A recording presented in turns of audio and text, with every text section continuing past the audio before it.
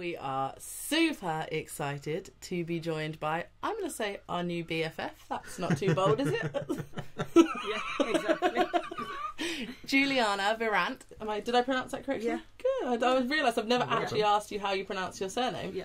I So- thought it was flight. Juliana Flight from Flight.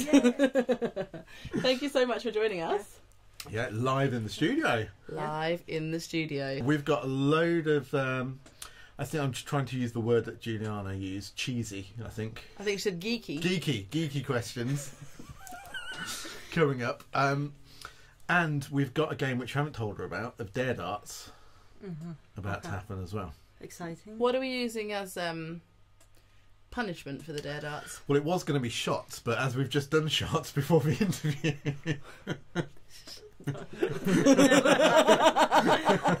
who knows? Who knows what we're going to do? Um, but But we it's still- questions, questions of the dares. Okay. Yeah. Yeah. Sam's got a whole bunch that aren't on screen that you can't see yet of um, Quick dare fire. questions. quick fire, dare darts Even questions. more questions. Yes. Nice. But- Let's um, let's start at the beginning. So this, I think this is you know an easy one. Could be lengthy, but we'll just cut that out. So don't worry. yeah. If you were trapped on a desert island, Yeah. we've got three questions. The first one is, which ukulele would you want to be trapped with? Of course, the Ultra Series, the super amazing travel ukulele, I was going to say, fully polycarbonate. You can go with it underwater. I don't know who actually I'd plays under. If I want to play underwater, I could. We will that. be testing that out It- in an it- upcoming video. It would be perfect. Yeah. Um, I was the first thing that sprang to my mind was who wants to be trapped on a desert island with a ukulele? No, you know, like to pass the time. But yeah, actually, the Ultra Travel series was exa- especially designed for this kind of situation.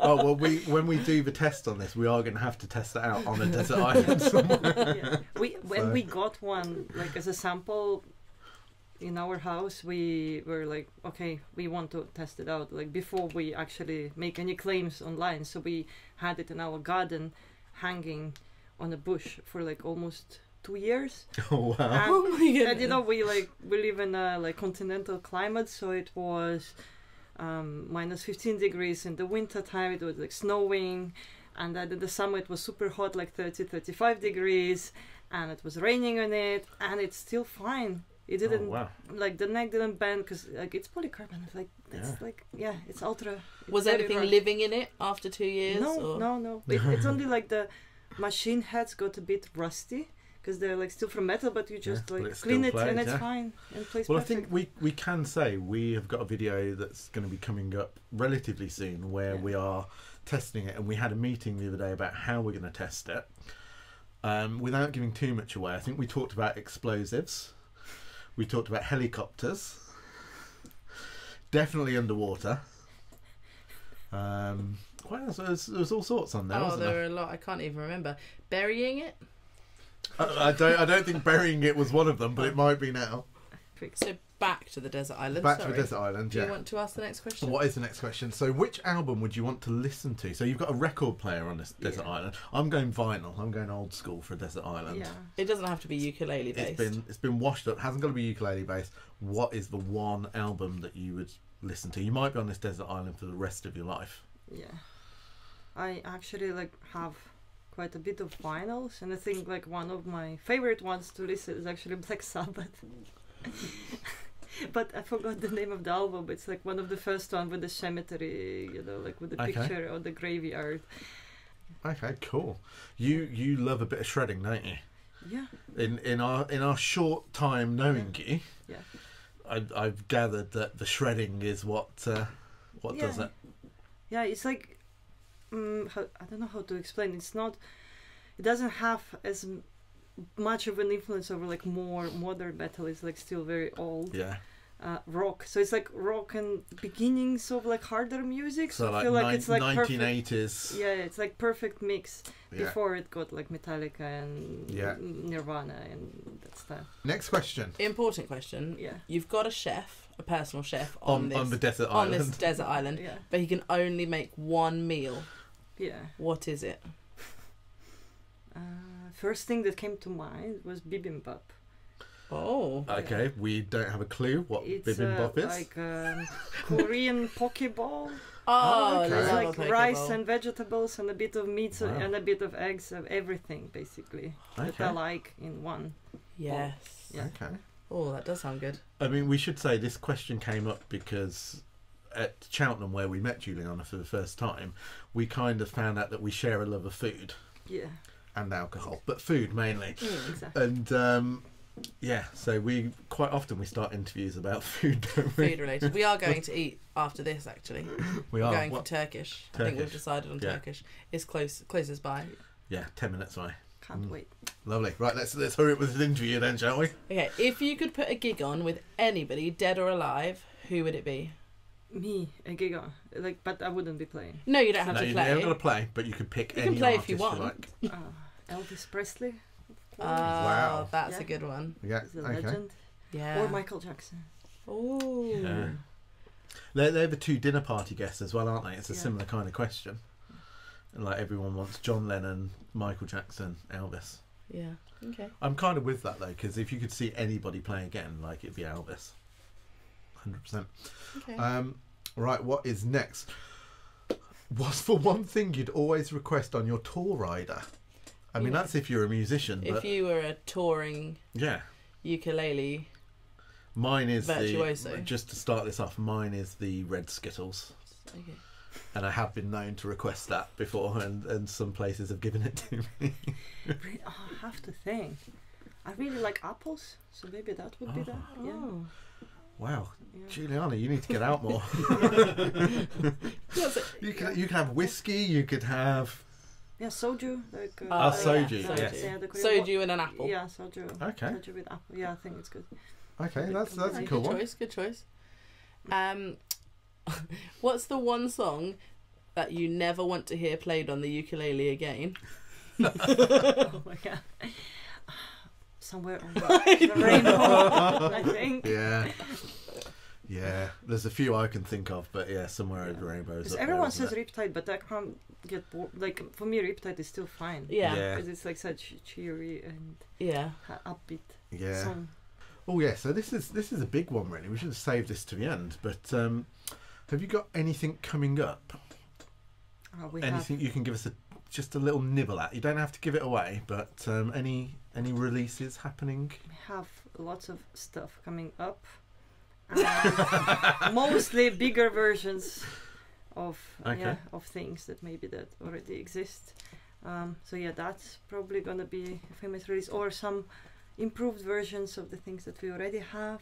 Okay. and some completely new things that you haven't seen from us before. we have Yeah. lots of things coming up. The answer is everything. Yes, everything, is coming up. Yes. Um, But please support the existing models as well. yeah. That leads us quite well onto our next question, which is which is your favourite flight ukulele that there's, there's there's sort of two parts to this question. There's a slightly negative part Yeah. and a positive part. Which one were you are there have there been any that you've been super excited about but they didn't quite land like they didn't quite sell as well as you thought Yeah. they were going to? Yeah. We've got serious all of a sudden, have, haven't haven't we? we? And- like these ones would be like the uh, our princess series. Like um, I think we have a very very cool model called Sophia, and Yeah. then we have model Antonia. And I think for that money, in that price range, they're like really really nice ukes. But for some reason, like people just maybe don't know about them, Yeah. or they go for something else. Because like Sophia, or the, actually both of them, they have like uh, Worth strings. Mm. They have yeah very nice solid tops which like make them sound well because like some people say we have a solid top but actually this sound wise it doesn't sound very Yeah. different from like non-solid top version and then sophia has um, i don't know if you heard about model D- diana probably Yes, you yeah, have yeah. Yeah. so Sophie is uh, like um, spruce top version of that Mm. so spruce is supposed to be like more open sound, more bright sound. So we, Yeah. I think like sound wise, it's like one of our best ukes, but it's just virtually not known well, and it's like such a Yeah. shame. And I think the yeah Antonio wa- model is like solid top mahogany uke, which satin f- with Mm. satin finish, and it like I actually don't know the UK prices because we do uh, most of things in We can- euro we in can pop it on euros. screen. Bongo We Boy can- will In pop them euros, up. yeah. But I think it's like yeah, the price is maybe around 200 or lower. yeah, I think yeah, I And the think gig they're bag is around really- about the 200 yeah. mark. I and think. the gig bag is really nice. And I think they should be selling much better than they are currently selling. Yeah. But maybe they're not as flashy as our like more famous Yeah. models like the Fireball. Yeah. So that's a bit of a shame. Yeah. But yeah, we are um, thinking how to put more focus and promote Yeah. these models more to our customers. Um, I'm going to jump in there with something that might be quite boring, but talking about gig bags, Yeah, I think your gig bags are the best marketing really. ploy I've seen in the ukulele world. Yeah, because when you go to a festival, when we're at Cheltenham, Yeah. and I think we had this conversation, but you look around and you just see red gig bag after red. Yeah. Like, don't change the colour too much because Okay. it's like it's it's like such a good marketing thing to go Yeah. like look how many flight Yeah. ukuleles there are. Mm, Like yeah. it's immediately visible at any like big Yeah, ukulele yeah, yeah. gathering. Yeah, the thing is when we we have like lower price series and they Yeah. have like a sand color gig bag. So when we made the Princess and Royal Yeah. series, we g- wanted them to stand out. So we went. We thought like, what is the expensive looking color? Oh, it must be the wine red. yeah. Yeah. So that's like the result. It's, it's brilliant though because, like I say, straight away you, you can literally count how many flights there are, which I think is genius. Anyway, Yeah. that was my I really, I really point, enjoyed that actually. Seeing that many Yeah, you were like, there's one over there, and there, and there. but- I felt, yeah, I felt because you know we don't really get out that much. We're mostly like sitting in the office and you know working online, and we see lots of videos. But when, yeah, when we actually go to events, I think we did like just Monopoleles this year in June, and then we did the Cheltenham Festival. So when you go to these events and you see actual people with ukuleles, it's like you see direct results of your work, Yeah. and I think that's Yeah. pretty amazing feeling. Because you just see the numbers on the screen otherwise.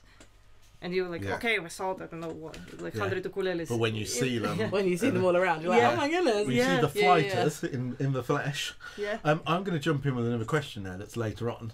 Yeah. But Juliana just said that they don't get out much. yeah. but inside, I was I was laughing. I mean, you're the most travelled people that I've I've ever met. There was your Facebook story the other day. Was I thought it was how many of these cities have you visited, and then Kevin was like, no, it's how many of these cities have you visited this year? it was like thirty-seven or something. It was like a list as long as your arm.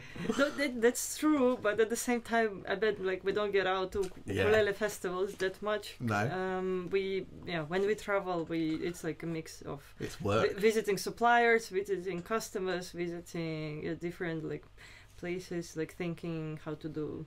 Yeah, sometimes we just get out for like a marketing event. Yeah. Yeah, Like we did some workshops with Daniel Serra yeah, recently in Prague, and then we did some last year. We did a tour with Peter Moss mm. and and Sami Turt and Sami F- Four String Boy in the Netherlands. So, but there's people who come there with flights, yeah. but it's still like much smaller events because Yeah, it's yeah, like a workshop. Yeah. So maybe you get like 10, 20, if you're lucky, Yeah. like 30 people that show up. And Yeah. of course, like some of them will have flight ukes, but then when going somewhere like Cheltenham, which felt like close to thousand people, Yeah. Yeah. like completely different feeling. Yeah, I'd say there was if there's thousand people, I'd say there was six hundred flight ukuleles there. I don't think so. I would. It Would be nice. But Yeah, well, there was a lot. There was a Yeah, lot of flight lot. there. God, sorry, you can jump. So back in. jumping back to sort of what we were talking about, have there been any that you weren't completely sure of, and they've just like taken off like crazy? I don't know. I have, I have to think. I have to ask help from from the audience. audience. Maya. Ah, Oh, yeah. the Maya, Yeah. yeah. Maya, yeah, true. We weren't so sure about how Maya's gonna work. And we were like, is there even market or demand for steel string baritones? Because nobody Yeah. has ever done it like on a big scale before. So we ordered just a little trial Yeah. quantity, and then it went and sold really quickly, and then we ended up having to order more. Um, but because it's a such um, I don't want to say high end, but it's a delicate instrument Mm. to Yeah. make, and we Yeah. had to make some improvements as well to the um, to the headstock. So it's like a really long process to or to get more instruments because they take at least three months to make. Yeah. Because it's like you need the lacquering, you need to wait for it to dry, you need to prepare the wood, so it's like the whole thing. And we Yeah. can't just You can't like- just get them. yeah, Yeah. we can't Yeah. be like I want Well, 100 tomorrow. There was a lady, Vicky from the UK Maniacs, cried She cried when she when got she, her when hands she got one. her hand on the Yeah. Maya at um, Cheltenham, didn't she? I the- almost the cried myself watching, watching that scene. Yeah, I, I think. I mean, going back to the Maya, the Maya, I think, is a fantastic instrument. I can't. I'm assuming there's one behind us There's because we're, all one here. just, Yeah. we're all just looking It's over there here. No, wall. Nobody is can see is it. on it. camera? Shall I get it? Yeah, I was delighted when you brought this out because certainly when we're doing baritone stuff with the band, we do it because we've got like the lower end in Mm. there, but it can disappear sound wise. Particularly when like we're recording, we're miking up, and this Mm. gives it a bit more volume. But also you can plug it in, so if you're doing distorted things, you've got steel strings, which is really nice. Um, I was am- amazed by this for, for the price, to be honest. Yep. I think you know it's an amazing price. I can't remember what it is, but again, Sam will put it up. Um, but yeah, I think it's an Yeah. amazing instrument. Yeah. So I'm really pleased that that took off. It did Yeah. well. Took off. Took off. Took flight. I don't know. Oh. I don't know if I should spill that, but we are thinking to make more versions of steel string baritone so that we don't have Okay. just mango one. Yeah. So if people have suggestions of the wood combinations, please Oh, I think that's cool. Ooh. Yeah. leave a comment Yeah. down below. I'm sure people will, and people will cry at the, at the, uh, the future possible baritone. So you're you're took off, gone. You were you were leading into. Oh, I was just gonna touch upon the where did obviously they're all aeronautical. Where did that come from? Where did the idea come from for everything to be aeronautical related? Aeronautical related? You mean for the names of the Yes, yeah, yeah, yeah. The thing is, it's different series. So like we have the um, beginner series that we started just the numbers, then we started adding wood n- names, and then we started with princess series. So actually, the princess series all have names uh, like of a princesses. Princess, Of- yeah, So yeah. we started with Victoria. She's like Queen Victoria. Then we Yeah. had yeah, um, Diana. Sophia, we added um, yeah some more. We added even Leia because Princess Leia and yeah we've been expanding that series but then when we went to royal series so we were like okay we need something fancier and actually company flight Yeah. is connected to planes aviation so we thought okay what if we look at the name of the planes they, like and basically when we make a new model we pull up a list of like military combat planes Ah. and then we just click uh, choose the more best sounding ones so we have the nighthawk and the fireball and Yeah. phantom so all So they these- came just because it was called flight. Flight didn't come from any kind of aviation background or N- history no, or- no no flight was just i actually yeah the name we kind of thought of it like we wanted to have something in english but something that was easy to remember uh, that expressed i don't know Mhm. freedom Yeah. and Yeah. um, stuff like that. But at the same time, that wouldn't sound Hawaiian because we are not a Hawaiian company. I've said this in interviews before. We don't want to pre- like Yeah. pretend that we are Yeah. from somewhere where where, where we are not. The fireball. What a great name the fireball is, though, for a ukulele. I mean, Yeah. that's if there's one ukulele to me that's really kind of captured everyone's imagination over the last couple of years, it was the fireball. I think it did the fireball win a Yuki award last year. I think it did. Yeah, Flight one in flight multiple- flight won multiple Yuki awards. Yeah. My favourite award being the category that only had flights, in it, yeah. which is what you guys voted for. It Yeah. was nothing to, to do Yeah. with us, but um, you. you know that was that was amazing. Um, So we got like a Spitfire coming up, maybe, or like a tornado.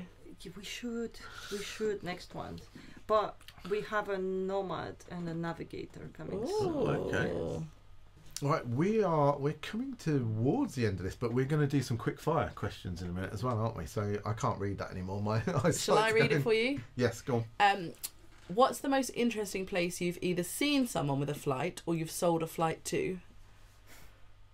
in a like a place I sold. Ah, where we sold. Um, I think there's been like some customers on like some remote islands. Ooh. Yeah, there is uh, like a store on Tenerife that plays Ah. flight, and there's been some quite uh, some other islands. Pretty much, you maybe remember. the audience. the audience. Uh, we had some charity in Africa, yeah. Yeah. Oh wow. Yeah, there were like that's some cool. yeah some Yeah. Africa um, charity that purchased some flight ukuleles from us. Uh, not purchased, sorry, we donated.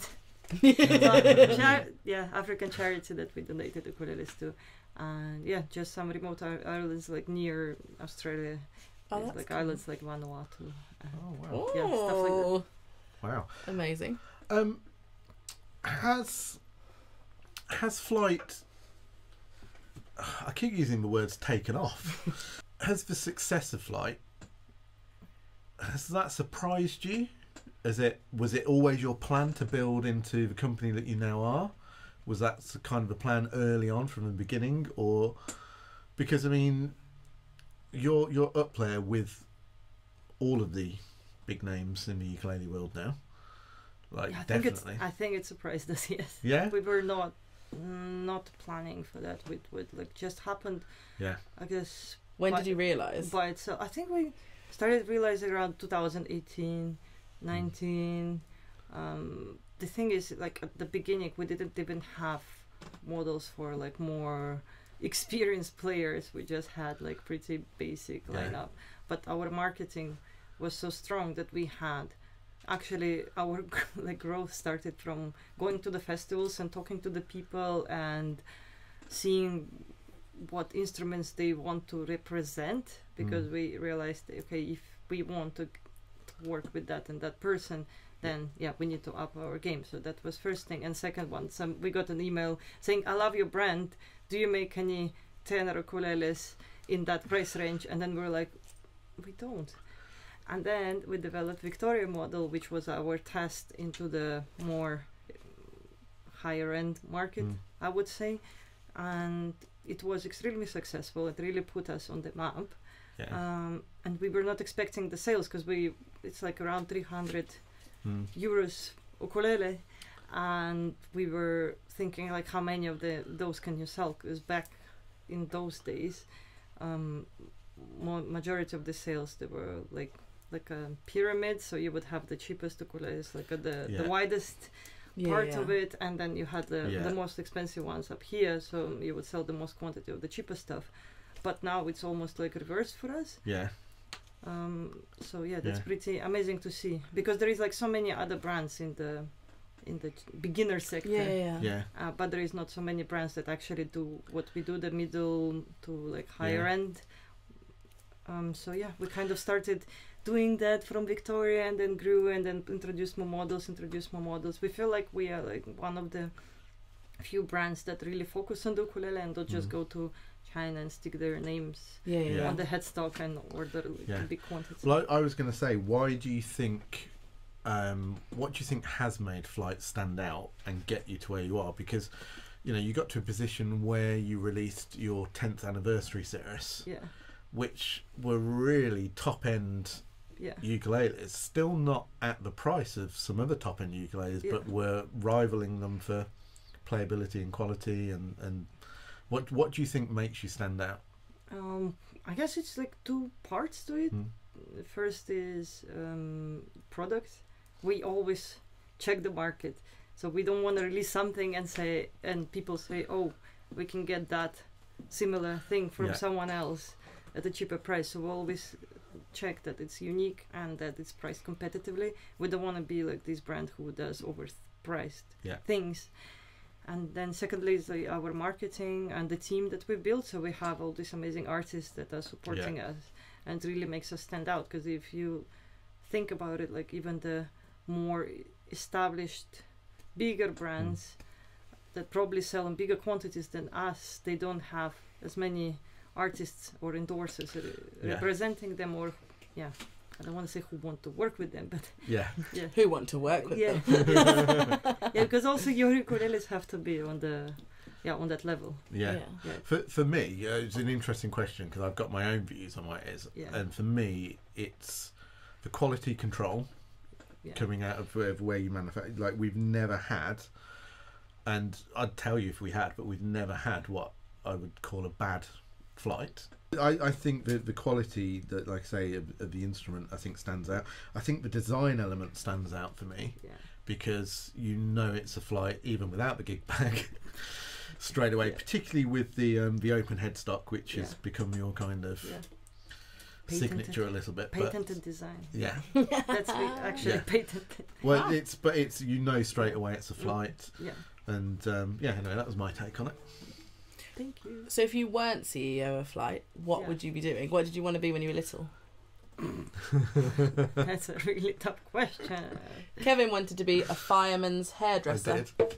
Really. That's it's yeah. It's not a thing. I, I- wanted to be a dancer. Ah. You know, I think so. But yeah, it's kind of, um, I guess, very. You have to start like super young Yeah. to get there. Even after you're little, what? Because, I mean, we do do our research on Yeah. this show, don't we? I do. You don't do much, but um, so you went to university in this country, is Yeah. that right? Edinburgh. London Met. Ah, Yeah. but she used to go to Edinburgh all the time. Yes. I was going to say It it was- wasn't Edinburgh. No, She'd just sorry. been in Edinburgh. Yeah, yeah. Edinburgh was like your place that you went to when you were at university. yeah, but I was stressed and I was Yeah. like, I need to get out of London, and then it was, uh, yeah, just a train ride. But then, as a similarity to another business that we do, Yeah. you went slightly into the music business from there. Is that right? Actually, my degree was the music and media Yeah. management. So the whole degree was about like managing a band. Right. So we learned like really cool stuff. I, mean, Yeah. I still remember my university, and I'm like, I missed that degree. I, I wonder how m- much it's changed, but we were learning about music industry, the BPI, you know, all the fun stuff. But it was like Yeah. 2006, seven, so it's like completely different now. Yeah. They were like just thinking, oh, there's so, so much pirate mu- pirated music. How is it gonna be in the future? And then like our lecturer like basically predicted the rise of like the streaming services, but Yeah. he s- he thought it was gonna be like a paid subscription to your broadband. Right. He thought Yeah. the broadband companies would be giving BPI like a percentage, and then everyone would have like a flat fee to listening to whatever they want. But yeah, so that was kind a of strange period of time, wasn't it? Because like you'd got you'd had Napster, who were just Yeah. illegally giving everything away, and then it was the start of yeah yeah. sort of streaming. But um, Yeah, and we were analyzing all the CD sales and all the Yeah. um, yeah record sales and yeah lots of different stuff. We had like a module just on music videos, another module just on touring, another module on music production with Cubase and stuff like that. So Oh, yeah, that's really cool. interesting but stuff. then the ukulele came along. yeah, The the ukulele ukulele came came along. along and I started and selling gazumped ukuleles. all of that. But um, yeah, yeah. But it helps me like that knowledge that I acquired there, especially like uh, music law. We had Yeah. like a whole module on that and contract law yeah, and yeah things like that they still come out because like i Yeah. understand like i see that a lot of people still don't have understanding of what is like publishing rights yeah, what is music recording rights what is like rights to the l- music what are the rights to the lyrics um, and how Yeah. it, that works but i have Yeah, thanks to my uni i It's- have the understanding of It's that it's like a lot of people in the publishing world. I think people that watch our channel know that we we publish as well, and a lot of people in the publishing world don't understand the rights, Yeah. even Yeah. for some fairly big companies, and Yeah. it's it's Yeah, amazing. we had a very good lecture and he explained everything in like in detail and i like still yeah, still remember it and it really helps because we work with a lot of artists and so I can, I'm able to like and you are in the music business, yeah like Yeah. hundred percent. in a way yes yeah. Well, it's it Yeah. definitely is. It's you know yeah, yeah. so it, so it helps just uh, cool. Yeah, so I guess that would be my like career that I wanted to do but actually I wanted to do more with electronic music so like they would give us coursework like set up like write how you are um, organizing a gig. And my gig would be like a techno party. So like everyone would be writing. So the band arrives and you know there is a sound check and i'll be like the dj arrives. Amazing. yeah. But that was like yeah that was my teenage years Oh, awesome. Love I've outgrown that yeah. Mostly. yeah. Um, I think we should go into dare darts. Yes. Yeah. Um, so dare darts, we throw darts at the dartboard. There's quick fire questions. You have to answer them pretty much immediately. Sam, Bongo Boy will read them. I'll read it. Um, have you ever played darts? yeah Oh, okay. In which case, you can throw your own darts if you like. okay Oh, Ooh, okay. what we so, got? 13, Sam? Favorite ukulele YouTube channel? Of course the other Ah.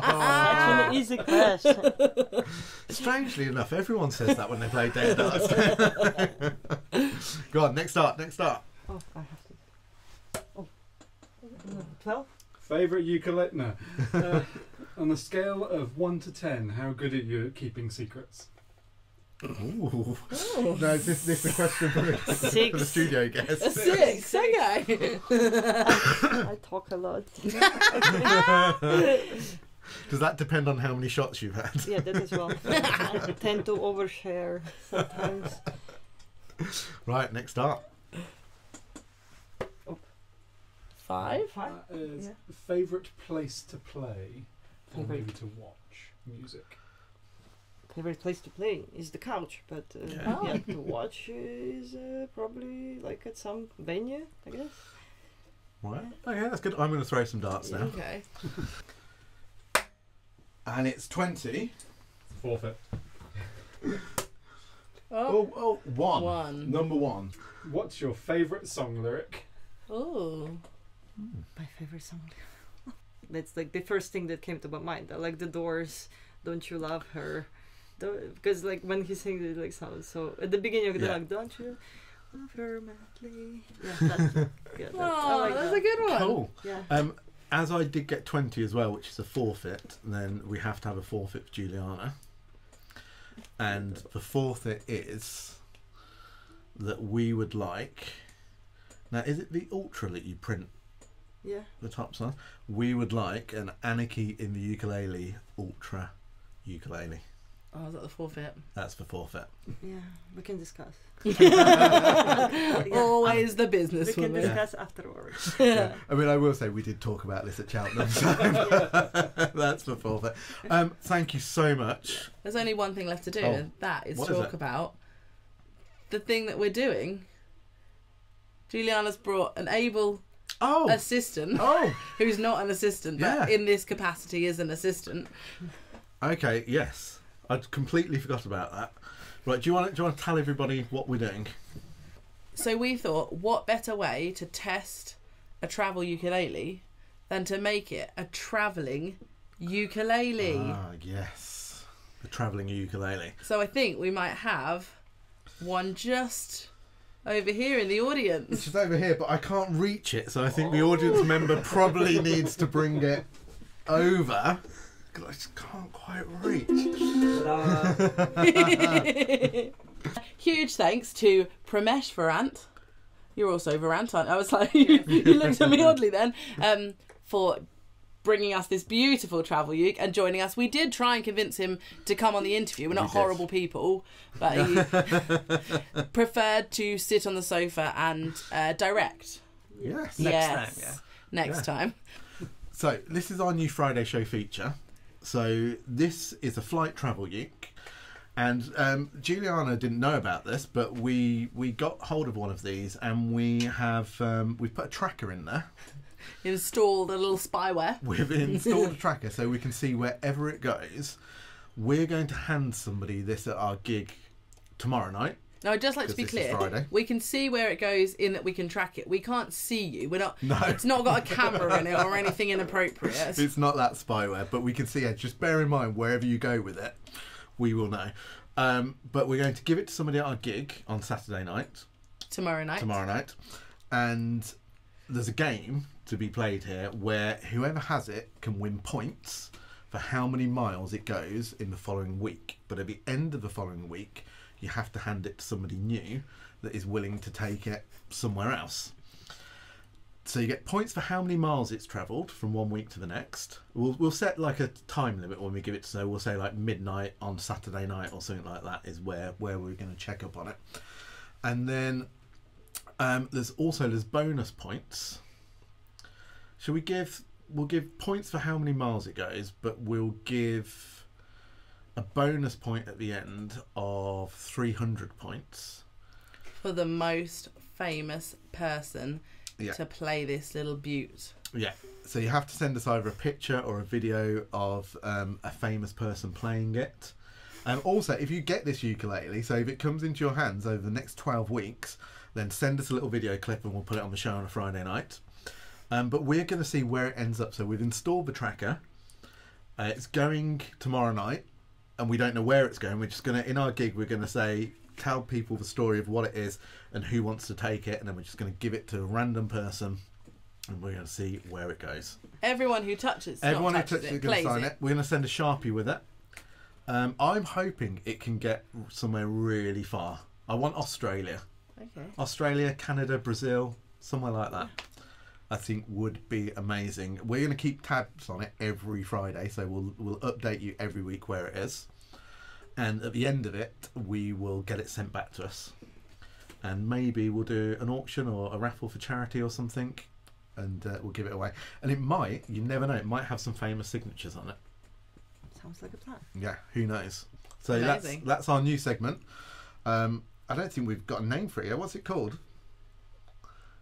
The traveling, the traveling ukulele. Ukulele. Yeah, it'll have its own theme tune and everything I had a really, week. I had a really good. Can you go to Trello? I've got a really oh, good did, blurb. yeah. You did have a blurb. Introducing Uke's Global Journey, the heartwarming new feature where one adventurous travel ukulele embarks on an epic mission to visit as many countries as possible. Passed from person to person, this tiny instrument will traverse the globe, connecting cultures and creating music wherever it goes. Each week, follow the ukulele's journey through new hands as it inspires spontaneous performances, heartwarming stories, and unexpected friendships, proving that music truly is the universal language. That's got AI written I wrote all that over it. all myself. Huge thank you to both of you for joining Yeah. us. Thank you. Uh, and should we go and eat? I- I'm I'm eating myself. I'm Yeah. starving. Thanks, guys.